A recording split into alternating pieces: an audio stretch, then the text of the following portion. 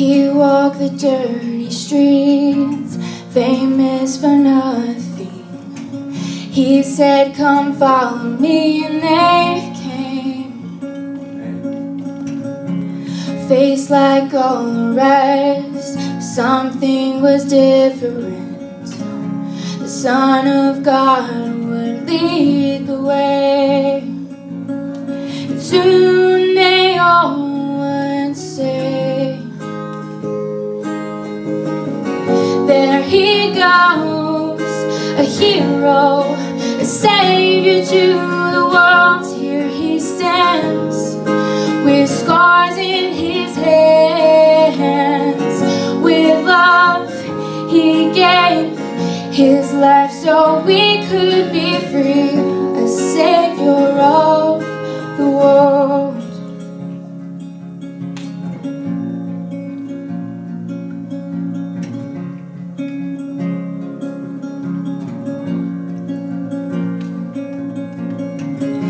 He spoke with clarity, walked across the sea. A single word would calm the storm. His touch could heal the sick, but he was called a hypocrite. Laid behind the stone, his death was surely mourned. He left the curtain torn. There he goes, a hero, a savior to the world. Here he stands with scars in his hands. With love, he gave his life so we could be free. The savior of the world. He chose to take the cross, shed tears for the lost, the broken, and the needy, forgiving those who were and will be. The angel made it clear. He told them, have no fear. He's not here. He's not here. There he goes, a hero, a savior to the in his hands. With love, he gave his life so we could be free. The savior of the world. The savior of the world. The savior of the world.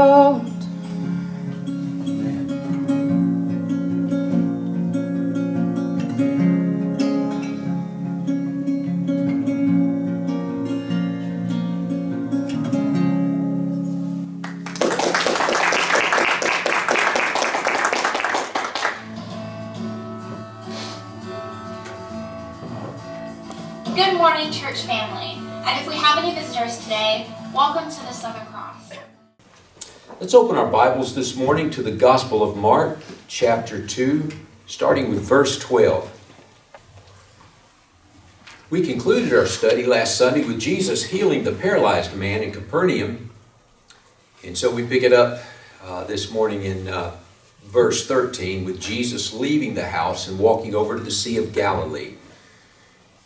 I remind you, that's not an ocean when it says the Sea of Galilee. It's actually called Lake Tiberias at other points in the Gospels. It was, it was a lake about 13 miles long and about 8 miles wide. It's a very big lake. Probably looked like the sea, you know, when you were out there standing in front of it. So Jesus is walking over to the Sea of Galilee now, and it says in 13, He went out again beside the sea, and all the crowd was coming to him. And he was touching them, and he and as he passed by, he saw Levi, the son of Alphaeus, sitting at the tax booth. And he said to him, Follow me. And he rose and followed him. Now it said Levi was sitting at the tax booth. So was he paying taxes or receiving taxes? Anybody remember Levi? He was receiving taxes. That's right. He was a tax collector. Also known as Matthew. In chapter 3, verse 18, when Mark first gives the name of the 12 disciples, he calls Levi Matthew. He's also called Matthew in the Gospel of Matthew. Uh, the tax collector Levi there, he ends up writing the Gospel of Matthew, one of the four Gospels. And if you didn't know, tax collectors in uh, biblical times were despised by the Jews. Uh, so it's, it's very radical that Jesus would call him as a disciple, especially in his core group, you know, one of the 12.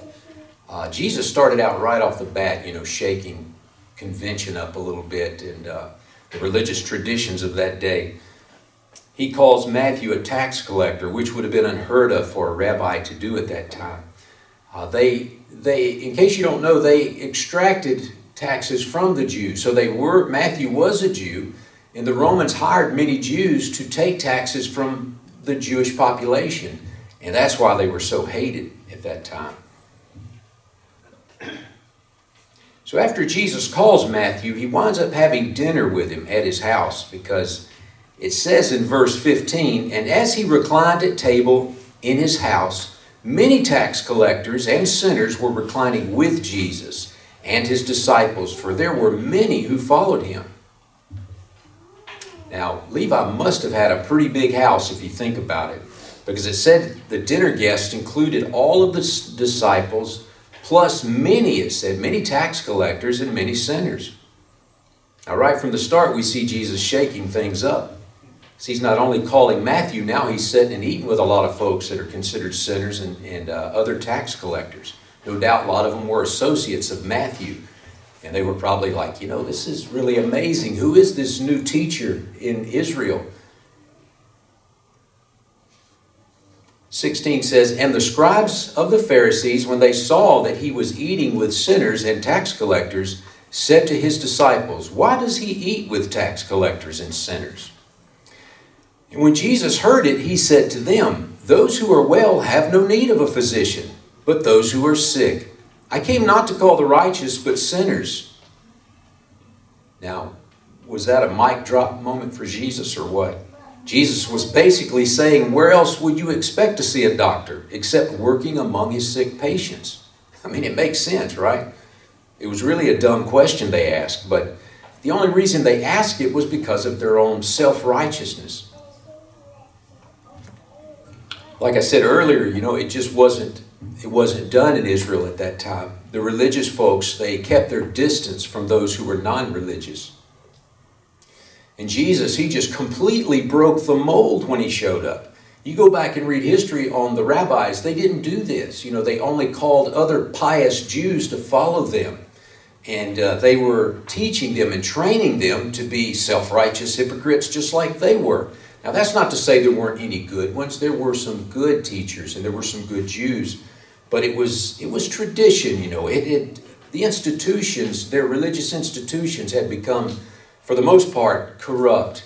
And uh, Jesus was really making waves. I mean, they, they began to resent him right from the start. I mean, that's why he could only preach for about three and a half years before they were trying to kill him. 18 says, Now John's disciples and the Pharisees were fasting.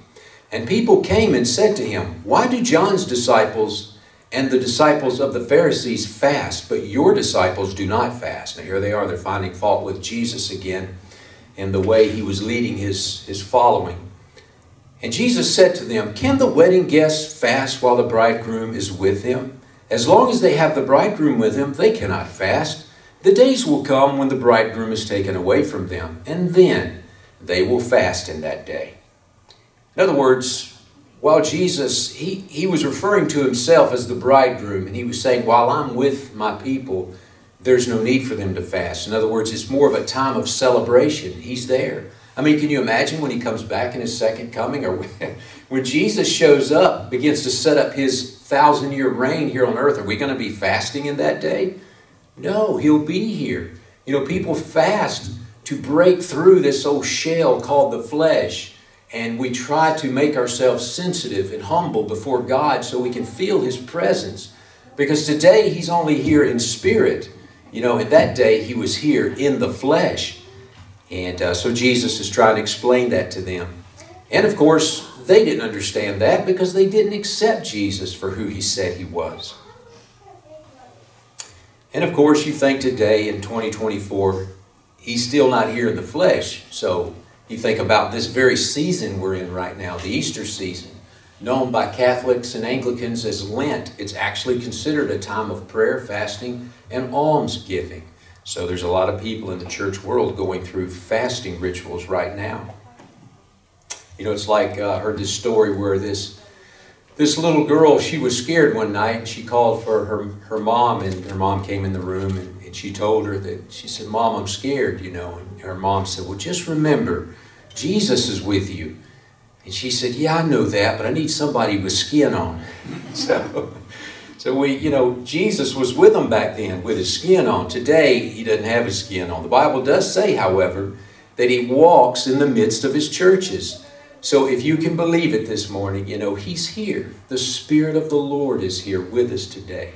And that's why we want to, and you hear me every Sunday morning, I pray that God help us humble our hearts in the service because it's only through the spirit of humility that we become relative to the Spirit of God. It's like my grandfather, who was an old time holiness preacher way back in the day. You know, he's been gone for a long time now, but he used to he used to tell us, he said, you know, the Spirit of God is like this, like a dove. You know, it's real gentle.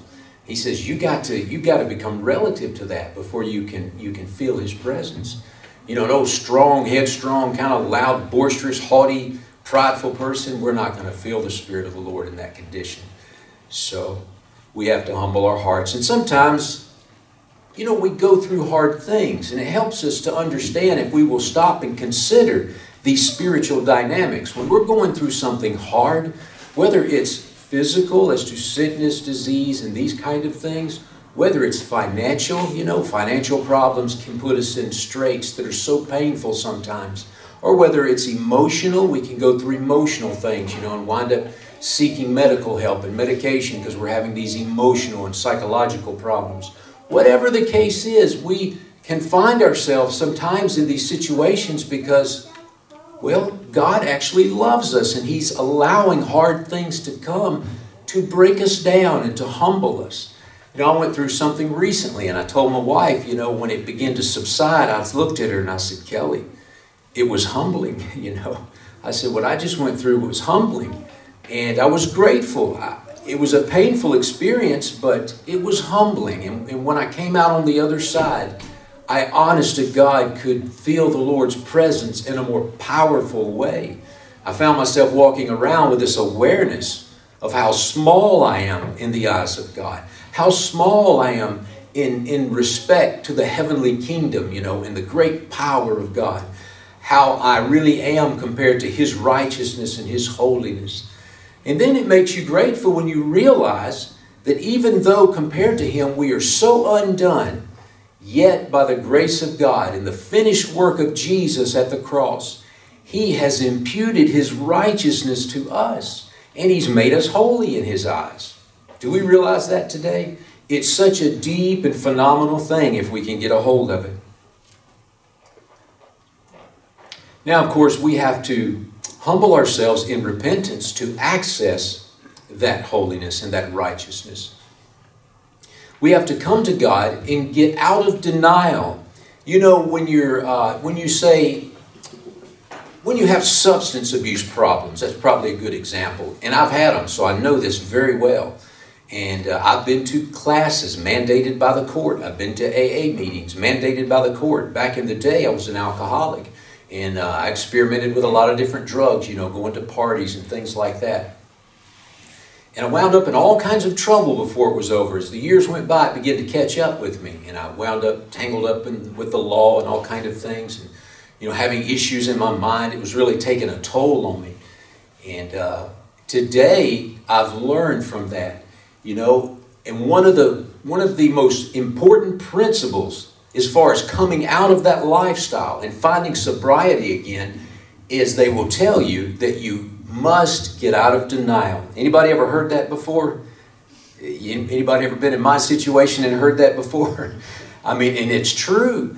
And I went in there. I remember going to a class, and uh, it was an AA meeting. That's what it was. And uh, this teacher there, instructor, was telling us all how we were alcoholics. And I was like, well, you know, wait a minute. I'm probably not like the rest of these people here. I'm not an alcoholic. And so he began to ask me, you know, well, how did you get in here? I said, well, you know, I got a DUI and this is where they sent me. He said, mm-hmm. is that the only time you ever had trouble with alcohol? No. You know, back uh, probably six months before that, I got into this little scrape of, from drinking and anything else? Yeah, yeah, got in a fight over here at this place and was thrown out. And so he, he brought it all out, you know, and come to find out, he said what I was was a binge drinker, which was still an alcoholic. Because I told him, I said, I'm not an alcoholic. I don't need to drink every day. I was, I was convinced that an alcoholic was like somebody in the gutter, you know, just always drunk. And I thought because I could go to work, stay sober, you know, for a week or two sometimes, that I was all right. And he said, No, Frank. He said, There's different kinds of alcoholics. He says, You're what they call a binge drinker. You can go for ex- extended periods of time and be sober. He says, But you always wind up circling back around, don't you? And eventually getting drunk. And I said, Yeah, I do have a history of that. So I had to get out of denial, is what I'm saying. They told me, they said, Frank, the first step in recovery is getting out of denial. Until a person gets out of denial, they can't even begin the process of recovery. Isn't that right? And folks, I'm telling you this morning, that principle was not invented by man. It comes from the scriptures. See, until we get out of denial as to being in sin, living in sin, breaking the commandments of God. I'm not talking about if we've come to God and we're a Christian and we're just we find ourselves at different points in life wrestling or struggling with something because we want to live a good and better life. But I'm talking about when we don't even serve the Lord, when we're just living a sinful life. Like it says here with Jesus, many sinners were following him around Capernaum because he was kind and he was reaching out to them to try to help them. You know, it said they were sinners. And of course, you got liberal churches today that cite these different scriptures and say, well, there you go. You know, we can be sinners and He still loves us and everything's okay. But we forget. Look at the very analogy Jesus used. He likened Himself unto a doctor. And He said, Isn't it like the doctor to be among the sick? Where else would you find me? See, He called sinners sick people. And what do doctors do with sick people? They lead them to recovery. Isn't that right? They want to reach out and help them and pull them out of the state that they're in. It's like I've heard it said so often God will accept us just as we are. And I know that as well as anybody. As Paul once said, I'm the chief of sinners. And he accepted me just like I was. But he loves us too much, folks, to leave us that way. See, that's the thing. He doesn't want to leave us in that condition. He will accept us as we are, but he will not leave us that way. If we walk with the Lord for 5 or 10, 20 years, whatever the case is, and nothing changes, something's wrong. We're not really walking with the Lord. So we find that we must get out of denial, that we might receive the infilling of the Spirit. We might come to a place of repentance and admit before God that we are sinners and we need His salvation, which He secured for us on the cross, became our substitutionary death right there at Calvary, and gave His life for us. And so it's a wonderful thing today. Every Sunday, I stand here and we go through the Bible, chapter and verse, and we won't stop until we've gone through the whole Bible. But all along the way, we find allusions to salvation. The whole Bible is about Jesus Christ coming and giving his life for sin. And so in 21, it tells us no one, Jesus, this is Jesus' response now. He's still, he's still responding to the fact that. Uh, they were talking about why, you know, why don't your disciples fast? Why aren't they being real, you know, kind of beat down and going through these religious rituals of self denial? Why aren't your disciples doing that, Jesus? Like John the Baptist's disciples and like the Pharisees. And so in 21, Jesus continues to explain. He said, No one sews a piece of unshrunk cloth on an old garment. If he does, the patch tears away from it, the new from the old, and a worse tear is made. In 22, he says, And no one puts new wine into old wineskins. If he does, the wine will burst the skins, and the wine is destroyed, and so are the skins. But new wine is for fresh wineskins. Now, why did Jesus go from talking about not fasting to not sewing these new cloths and talking about not putting old wine into new, not putting new wine into old wineskins? See, he's making the point here that his message is not supposed to be like that of the rabbis before him. Jesus is bringing a new message. He's bringing a new covenant to the people. And so he's using these examples saying, don't expect me to be like the rabbis before you. Don't expect this to be the same thing. As a matter of fact, uh, we're told in Isaiah chapter 43, verse 19, it says, Behold, I am doing a new thing. Now it springs forth. Do you not perceive it? The New Living Translation Bible renders it this way For I am about to do something new. He goes on to say, Will you recognize it? So Isaiah alludes to the coming Christ and his new covenant, saying, It will be something new that God does. And so Jesus is telling them, You can't put new wine in old wineskins. You know, and if you understood the way it worked back then, as some of you may, we have bottles like this one here this morning. You see, we've got wine in there. But uh, in, in that day, they used skins, animal skins, and they made these bottles out of them to put the wine in. And when you put some new wine in new wine skins, it would ferment. And as it fermented, it would stretch the skin and it would dry it out. And so once that had happened and you used up all the wine, you couldn't say, take that same wineskin and put new wine in it because it would ferment again and yet the skins can't stretch any further. And Jesus was saying they would burst and you'd lose the wine. Now he used that to talk about himself bringing this new message. He was saying that there's going to be these religious folks, and of course these were the very people he was referring to. You can't put this new message in somebody that is, is full of the old message. You know, I'll, I'll tell you, I'll bring it more home to us. Think about this. Some of you may have experienced this. I have. I come from a real old-fashioned background. Like I mentioned earlier, my grandfather was an old-time holiness preacher. And he was a great man. I mean, I saw him, I grew up around him, saw him for many years. He had great faith. He died with calluses on his knees. I saw him with my own eyes after he died. They showed him to me before they carried him out of the house. Thick, round, raised skin on each knee. Our grandmother always told us that he had those. We didn't know for sure, but she said he did because he would pray all night with a regularity.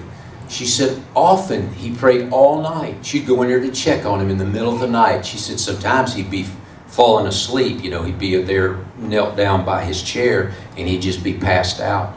But he'd wake up and he'd go right back to praying and, and he wouldn't get up until the sun come up the next morning. Whether he was snoozing or praying, he was trying and he was staying there all night long on his knees. He did that for years until there were calluses on his knees. I said all that to say he was really a phenomenal person when it come to that. Uh, my wife got to know him before he died. We watched him pray for things, watched his, his prayers be answered in a phenomenal way. I mean, things like you hardly ever see anymore. Amazing things. There were some miracles in his ministry. And but at the same time, he was he was very old-fashioned. You know, talking about the new wine and the old wineskins. It was another generation. You know, and they had certain traditions that weren't necessarily supported by the Bible, but it just happened to be the time they were in. For instance, ladies had to wear dresses, they couldn't wear pants. That was, y'all may have heard of that among some churches. I think uh, there's still some old fashioned sects that practice that to this day. No, uh, they didn't really, they kind of frowned on jewelry and makeup, that kind of thing. Very old fashioned. Well, I still know a lot of people, you know, from that ministry. My grandfather was such a larger than life kind of personality when it come to that. He was such a great man that uh, to this day, there's like about three, at least three different churches out there that follow his ministry. And, uh, but at the same time, those people, they, they, they're good at ministering to their own group, but they're not very effective at reaching this generation because people in this generation can't hardly relate to that anymore, right? And, you know, and I, it took me years to acclimate to this generation and kind of pull away from that style and that kind of old-fashioned ministry and do a more up-to-date, modern approach to the Word of God to reach a people living in the, uh, the 21st century. And so it reminds me of that. You know, when I read that, Jesus saying, look, you, you can't put new wine in old wineskins. See, those people from that generation, they represent those old wineskins. They had wine in them, and at the time it was new. And they worked for God, and they were great people. Some of you sitting out here today may have a grandmother, a grandfather. You may have been told stories about a great grandfather, a great grandmother, you know, who was a prayer warrior, who prayed and got miraculous answers to their prayers. You know, it's kind of like this. The old saying goes, you don't want to throw the baby out with the bathwater. We can learn some things from those folks. And one of the things we can learn is to persist in prayer. They were very persistent in prayer. We're very flighty nowadays. We have a, such a short attention span because of computers, television, and walking around, you know, with, with the smartphone in our hands. It's acclimated our minds and made us very, very short in our attention. But it wasn't like that back then. They didn't have laptops, they didn't have smartphones, and uh, they could sit still for more than five minutes at a time and focus on something. So they were more apt to pray, spend time studying the Bible. We could learn something from the devotions of those days. You know, the Bible actually says, Seek ye the old paths and walk therein, for in them you will find rest for your souls. So, what we have to do is we have to be balanced in the gospel. And in every generation, God raises up a new group of people, new ministers, a new people to look back into the Word of God. For it is Jesus, the Bible said, is the same yesterday, today, and forever. And we look back into His immutable, His timeless Word, and we re-evaluate, we study it, and we present it to a new generation in a way that's relevant to them so we can reach them for God.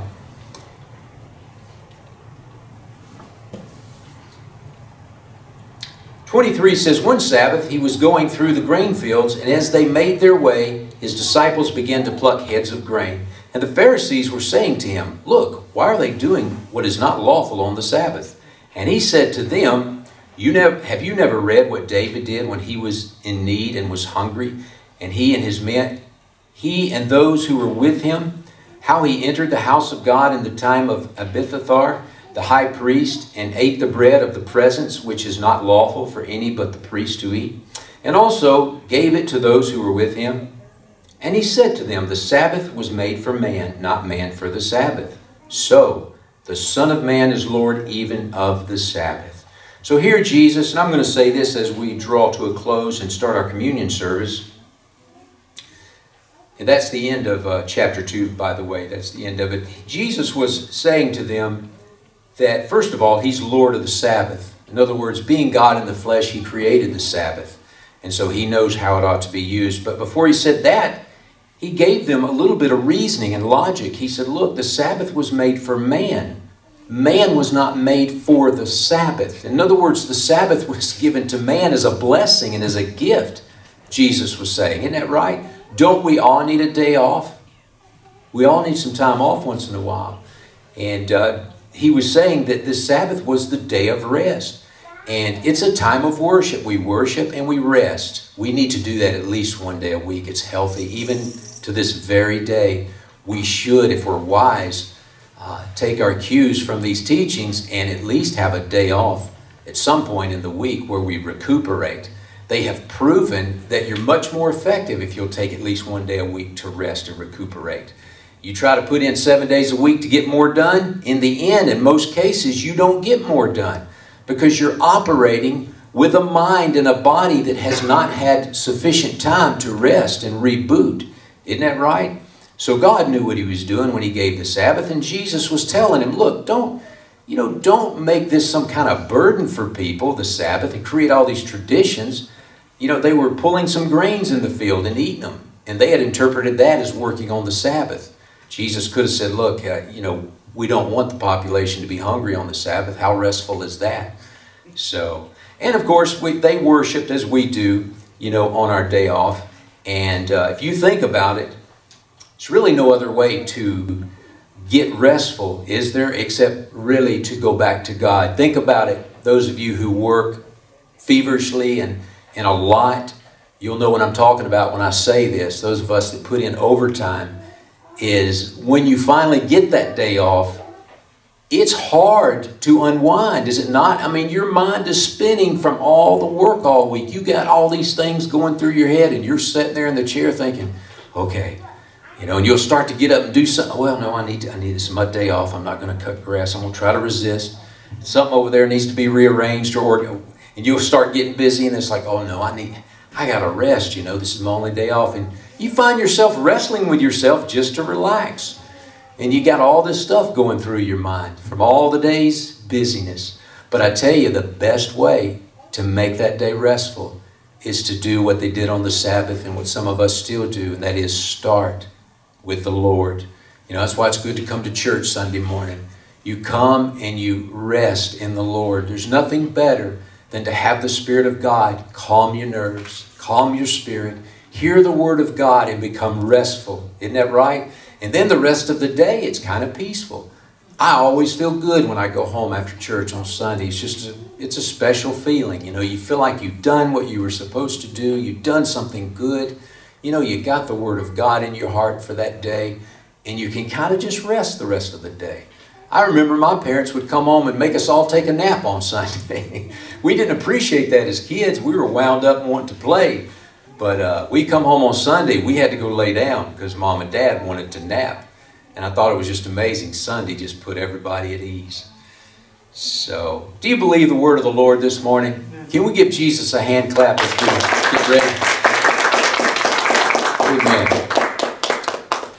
Well, let me get uh, Chris and Chandra to come up if I could and get our communion elements ready.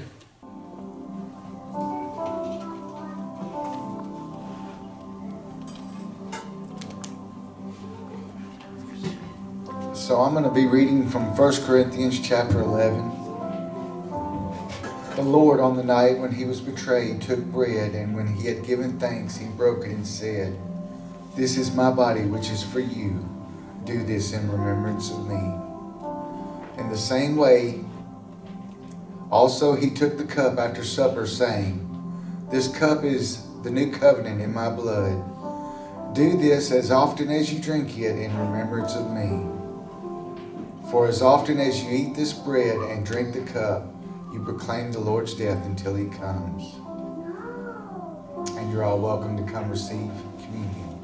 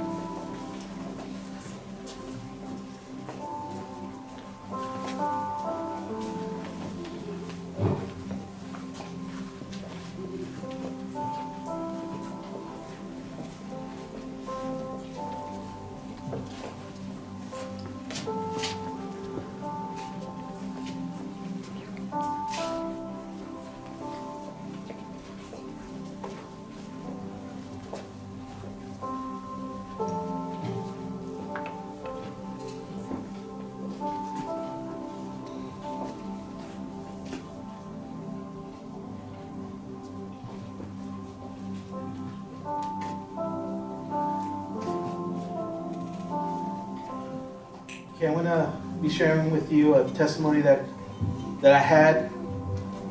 Okay, and that this uh, deals with my left hand, and uh, I had a good sized knot in it. You know, and being a guitarist and playing at the church at the time, you know, having a knot in your hand was not a good thing, and. Uh, it would it felt like a nail would go through my hand, you know, whenever I would try to form the C chord. And I was going, oh, this is not good, this is not good. Okay, and the doctor said that uh, I would probably, uh, you know, if it doesn't get any better, I'm to probably have to have some kind of surgery on it, you know. And then I asked him, well, you know, is that going to hurt, you know, the dexterity that I have in my hand? And he goes, oh, well, it might, it might not, but, you know, you know, but then me thinking, hey, I'm a guitarist, you know, I want to take a chance. So I prayed to the Lord, and when I prayed to the Lord, uh, I immediately felt it go go down, and it even kind of surprised me. It was, oh my Lord, it's, it's going, it's actually going down, you know, and uh, probably by the next morning it was gone. And I believe I had talked to other people about it, you know, and, you know, so they were surprised.